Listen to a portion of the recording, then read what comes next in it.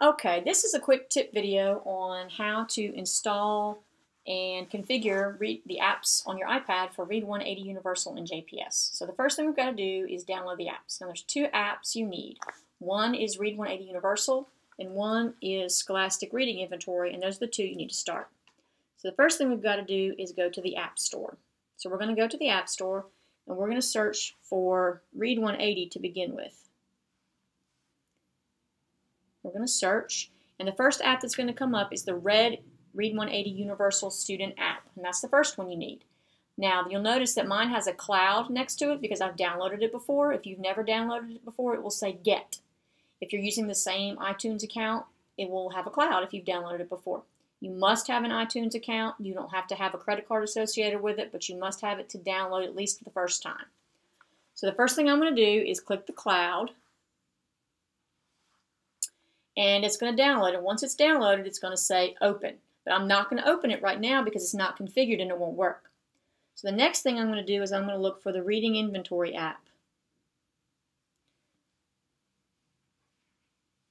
And then I'm going to search for that. And the first thing that's going to come up is another HMH. And you need to make sure that it says Reading Inventory Houghton Mifflin Harcourt. That's the one you need. You'll see in the upper left-hand corner of the screen that mine has a cloud because I've downloaded it before. But I'm going to click the cloud, and it's going to download, and then it's going to say open. I'm not going to open it again because it's not configured. So in order to configure the app, I've got to go to my setting. And when I get to my settings, when I scroll down to the bottom, you'll see that there's the app.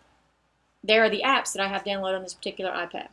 So the first one I'm going to configure is the Read 180 Universal, and I must enter the site ID.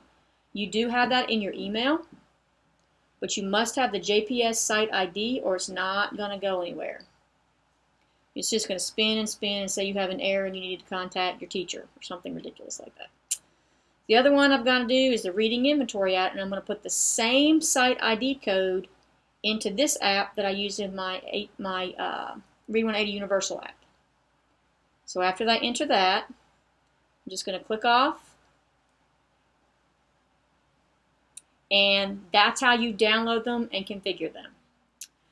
After you've configured the apps, if you did it correctly and you launch the Read 180 or the Scholastic Reading Inventory app, you will see the HMH Central login.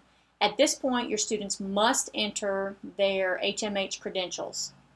You can, as a teacher, you can see those H, HMH Central username and passwords inside of your Teacher Central or your SAM console. You do not use your Clever credentials on an iPad.